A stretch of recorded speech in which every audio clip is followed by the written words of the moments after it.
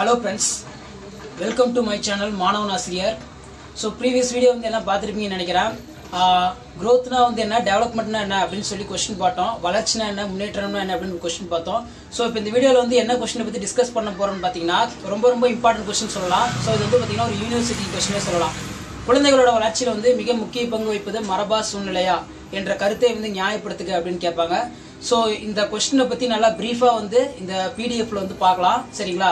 இந்த பிடிஎஃபோட லிங்க் உங்களுக்கு வேணா கீழே வந்து என்னோட பிளாக் ஐடி இருக்குது அந்த பிளாக்ல போய் டவுன்லோட் பண்ணிக்கோங்க. வாங்க வீடியோக்குள்ளே போகலாம் hello friends welcome to my channel மாணவன் ஆசிரியர். ஸோ ப்ரீவியஸ் வீடியோவில் பார்த்தீங்கன்னா வளர்ச்சி மற்றும் முன்னேற்றம் இவற்றிற்கான வேறுபாடு வந்து பார்த்தோம். ஸோ அந்த வேறுபாடு வந்து பார்த்தீங்கன்னா முடிஞ்சிச்சு.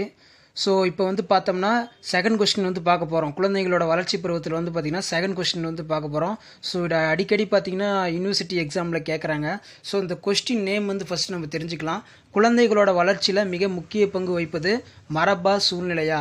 உன்னுடைய கருத்தை நியாயப்படுத்துக அப்படின்னு கேட்பாங்க. அப்படி இல்லைனா ஒரு குழந்தையோட வளர்ச்சியில் மரபும் சூழ்நிலையும் எந்த அளவு பங்கு வகிக்கிறது? எப்படி வேணாலும் பார்த்தீங்கன்னா இந்த கொஸ்டின் வந்து டைவெர்ட் பண்ணி மாற்றி கேட்பாங்க.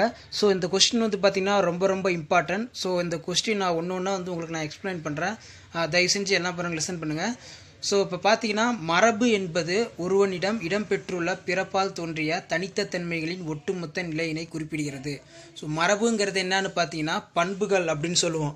இப்போ ஒரு குழந்தைக்கு எப்படி வந்து மரபு பண்புகள் கடத்தப்படுது அப்படின்னு பார்த்தீங்கன்னா தாயிடம் இருந்தும் தந்தை வழியிலிருந்து தான் பார்த்தீங்கன்னா மரபு பண்புகள் வந்து கடத்தப்படும். ஸோ இதை தான் வந்து பார்த்தீங்கன்னா மரபு அப்படின்னு சொல்கிறோம் சரிங்களா? அடுத்து பார்த்தீங்கன்னா பிறப்பின் போது ஒரு குழந்தை தனது பெற்றோர்களிடம் இருந்து பெறுகின்ற உடற்பண்புகள் அனைத்தும் மரபு நிலைக்கு உட்படுத்தப்படும். சரிங்களா? பெற்றோர்களிலிருந்து தான் பார்த்தீங்கன்னா மரபு பண்பு வந்து கடத்தப்படுகிறது. இப்போ ஆண்களில் இருக்கிற மரபணுவும் பெண்ணில் இருக்கிற மரபணு ரெண்டு இணைவதன் மூலமாக தான் பார்த்தீங்கன்னா குழந்தை வந்து உருவாகும். ஸோ அந்த குழந்தைகளுக்கு வந்து பார்த்தீங்கன்னா ரெண்டு பேர்த்துடைய மரபணுக்கள் மூலமாக தான் பண்புகள் கடத்தப்படுது அப்படின்னு சொல்கிறாங்க அதான் வந்து பார்த்தீங்கன்னா உடற்கூறு பண்புகள் அப்படிங்கிறோம். ஸோ இது வந்து பார்த்தீங்கன்னா அனைத்தும் மரபுக்குட்பட்டதாகும்.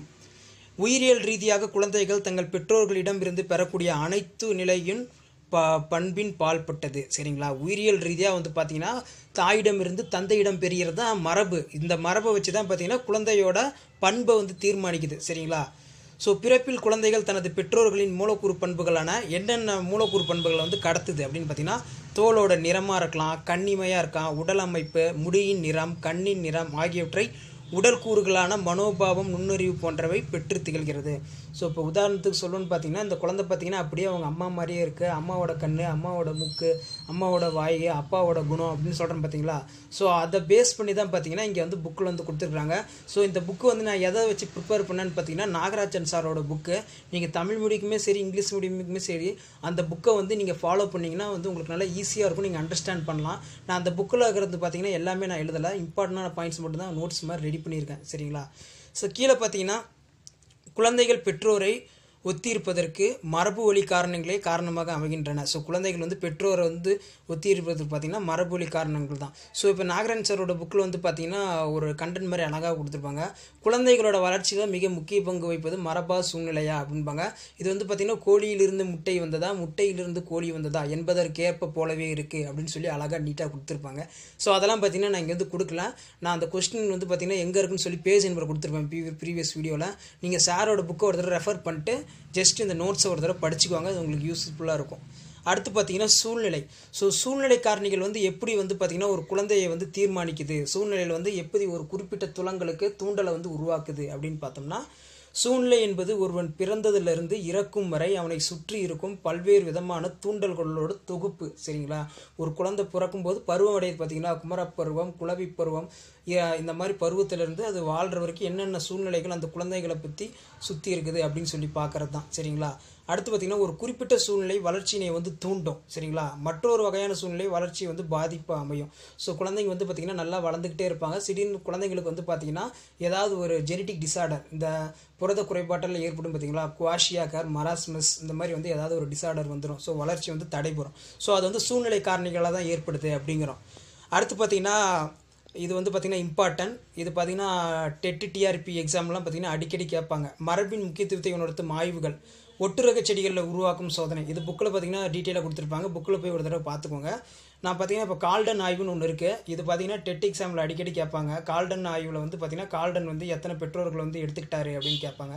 ஸோ இப்போ இந்த கால்டன் ஆய்வு வந்து என்ன சொல்லுது அப்படின்னு பார்த்தீங்கன்னா எட்நூறு ஆங்கில குடும்பங்களை வந்து ஒரு ஆராய்ச்சி செய்கிறார் யாருன்னா கால்டன் சரிங்களா? அதில் வந்து தொள்ளாயிரத்தி எழுபத்தி ஏழு பேர் வந்து மேதையாக இருக்கிறாங்க ஜீனியஸாக இருக்கிறாங்க. ஐநூற்றி முப்பத்தி ஏழு பேர் வந்து புகழ் மிக்கவர்களாக இருக்கிறாங்க திறன் வாய்ந்தவர்களாகவும் இருக்கிறாங்க.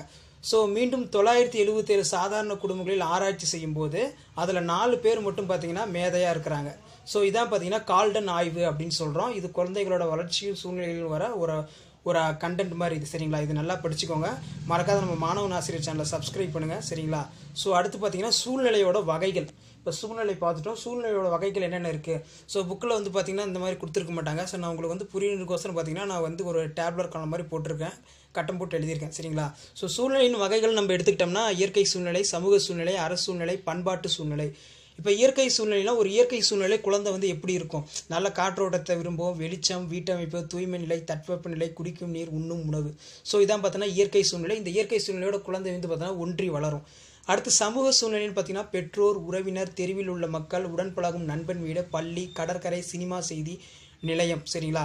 ஸோ இதில் வந்து பார்த்தீங்கன்னா குழந்தை வந்து எப்படி அவங்கள பார்த்து கடுத்து க- அவங்க நடத்தையை பார்த்து எப்படி கடுத்து கற்றுக்குது எப்படி பண்புகளை வந்து பெறுது அப்படின்னு சொல்லி பார்ப்போம். அடுத்து வந்து அரசு சூழ்நிலை. அரசு சூழ்நிலைனா வாழ்க்கை முறை வந்து எப்படி வாழ்கிறாங்கன்னு பார்த்தீங்கன்னா குழந்தைகள் வந்து உற்று நோக்கும் வாழ்க்கை நெறிகளின் உண்மை நியாயமாக நடந்துக்கணும் நேர்மையாக இருக்கணும் நீதி ஒழுக்க நெறி கோட்பாடுகள் இதை இதை புரிஞ்சு நடந்துக்கணும்னு சொல்லி அரசு சூழ்நிலை பார்த்தீங்கன்னா குழந்தைங்களுக்கு வந்து உணர்த்தும்.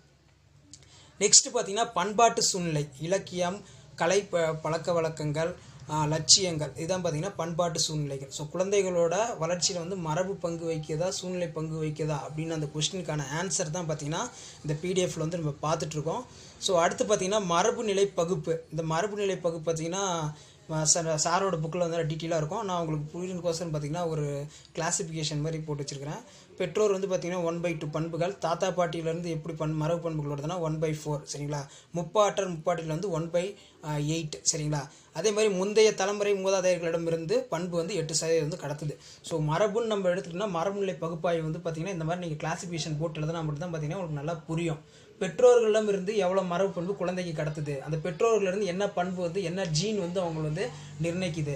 ஸோ அந்த பெற்றோர்களிருந்து எப்படி வந்து பண்பு கடத்துனா ஒன் பை ஃபோர் அதே மாதிரி முப்பாட்டன் முப்பாட்டிலிருந்து எவ்வளோ ஒன் பை எயிட் முந்தைய தலைமுறைக்கு பார்த்தீங்கன்னா ஒன் பை எயிட் ஸோ பண்பு வந்து பார்த்தீங்கன்னா தாய் மற்றும் தந்தையிடம் மட்டும் வந்து பார்த்தீங்கன்னா பண்புகள் வந்து கடத்தப்படாது. முந்தைய தலைமுறையிலிருந்து இன்னொரு தலைமுறையிலிருந்து இந்த F one generation F two generation F zero generation இந்த மாதிரி பார்த்தீங்கன்னா பண்புகள் வந்து கடத்திக்கிட்டே இருக்கும். ஸோ அதை தான் வந்து பார்த்தீங்கன்னா இங்கே மரபு நிலை அப்படின்னு சொல்கிறோம் சரிங்களா? ஸோ குழந்தைகளோட வளர்ச்சியில் கடைசியாக நீங்கள் வந்து கன்க்ளூஷன் இப்படி எழுதுங்க. குழந்தைகளோட வளர்ச்சியில் மிக முக்கிய பங்கு வகிப்பது மரபா சூழ்நிலையா என்ற கேள்விக்கு விளக்கம் கிடைத்துள்ளது. குழந்தைகளோட வளர்ச்சியில் மிக முக்கிய பங்கு என்பது மரபு காரணிகளும் சூழ்நிலை காரணிகளும் மட்டுமே. ஒரு குழந்தையுடைய பண்புகளை தீர்மானிப்பது மரபு குழந்தை வளரும் அந்த தன்மையினை நிர்ணயிப்பது சூழ்நிலை. ஸோ இரண் இந்த இரண்டும் ஒன்று சேர்ந்து குழந்தையுடைய வளர்ச்சியினை பெரும் பங்கு வகிக்கிறது அப்படின்னு சொல்லி இப்படி கன்க்ளூஷன் எழுதிருங்க ஸோ இந்த வீடியோ பிடிச்சிருச்சுன்னா மறக்காத லைக் பண்ணுங்கள் ஷேர் பண்ணுங்கள் சப்ஸ்கிரைப் பண்ணுங்கள் இந்த பிடிஎஃப் உங்களுக்கு பிடிச்சிருந்துச்சுன்னா என்னோட பிளாகில் வந்து பார்த்தீங்கன்னா நான் அப்லோட் பண்ணியிருக்கேன். நீங்கள் போய் டவுன்லோட் பண்ணிக்கோங்க. கீழே என்னோட பிளாக் வீடியோ லிங்க் கொடுக்குறேன். ஸோ தேங்க்யூ நண்பா.